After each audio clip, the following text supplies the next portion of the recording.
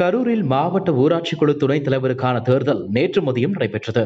குறிப்பாக அதிமுக ஆறு கவுன்சிலர்கள் திமுக ஆறு கவுன்சிலர்கள் என மொத்தம் பனிரெண்டு மாவட்ட கவுன்சிலர்கள் உள்ள நிலையில் மாவட்ட ஊராட்சி குழு தலைவராக அதிமுகவை சேர்ந்தவர் இருந்து வருகிறார்.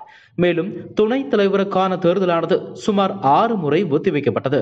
இது தொடர்பான வழக்கு உயர்நீதிமன்ற மதுரை கிளையில் நடைபெற்று வந்த நிலையில் பலத்த பாதுகாப்புடன் நேற்று மாவட்ட ஊராட்சி குழு துணைத் தலைவருக்கான தேர்தல் நடத்த வேண்டும் என உத்தரவிட்டிருந்தது. அதன்படி நேற்று மாவட்ட ஆட்சியர் அலுவலகத்தில் துணைத் தலைவருக்கான தேர்தல் நடைபெற்றது. இந்த நிலையில் கரூரில் காலையில் தேசிய நெடுஞ்சாலையில் முன்னாள் அமைச்சர் எம் ஆர் விஜயபாஸ்கரின் காரை தாக்கி காரில் இருந்த அதிமுக மாவட்ட கவுன்சிலரும் துணைத் தலைவர் வேட்பாளருமான திரு வி என்பவரை சுமார் ஐந்து கார்களில் வந்த மர்ம கும்பல் கடத்தி சென்றது. கடத்தி செல்லப்பட்ட திரு வி க தேர்தல் முடிவுக்கு பின்னர் மீட்கப்பட்டார். மீட்கப்பட்ட அதிமுக மாவட்ட கவுன்சிலர் திரு வி கரூரில் உள்ள தனியார் மருத்துவமனைக்கு சிகிச்சைக்காக வந்தார்.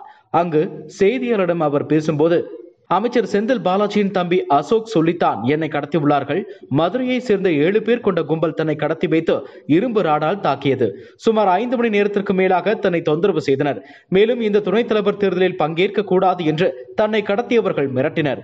மேலும் தன்னை கடத்தியவர்கள் பாக்கெட்டில் ஸ்டாலினின் படத்தை வைத்துள்ளனர். மதுரை உயர்நீதிமன்றம் உத்தரவிட்டும் அராஜகமான முறையில் இந்த தேர்தல் நடந்துள்ளது.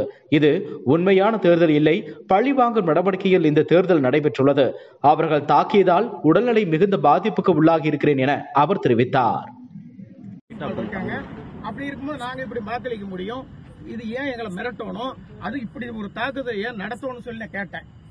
கேட்டோன்னே நாங்க என்ன பண்றது? மேலிடத்துல சொன்னாங்க நாங்க உங்களை கடத்திட்டு வந்தோம்ட்டாங்க. மேலிடம் அவங்க யாரை சார் குறிப்பிட்டு சொல்றாங்க? யாருன்னு சொல்லும் போது ஒரு ஒரு கருத்தை அவன் சொன்னான். ஏப்பா நீ வந்து யாருக்குப்பா அனுப்புறேன்னு கேட்டேன்.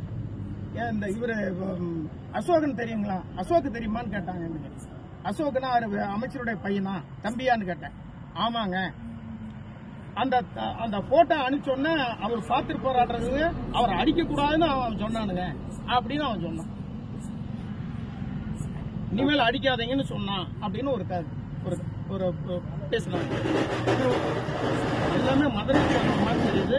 ஆனா அவங்க முகம் தெரியும். ஆனா ஆள் யாருன்னு தெரியாது. ஒரு மூணு பசங்க இருந்தாங்க. அவங்க வந்து எனக்கு ஹெல்ப் பண்ணாங்க. மற்றபடி அவங்க எனக்கு தொல்லை கொடுக்கல. சார் அவங்க அழைத்து சென்ற காரில் மொத்தம் எத்தனை பேர் வந்தாங்க? எத்தனை பேர்னா ஒரு ஏழு எட்டு பேர் இருக்கு. சார், அவங்க திமுக தான் அப்படிங்கிறது உறுதியா தெரியாது என்னங்க திமுக காரங்க தான் கடத்தினாங்க உறுதியா தெரியும் திமுக ஸ்டாலின் படம் வச்சிருக்கான் பார்த்தேன் ரெண்டு பேரும் ஸ்டாலின் படம் வச்சிருந்தான்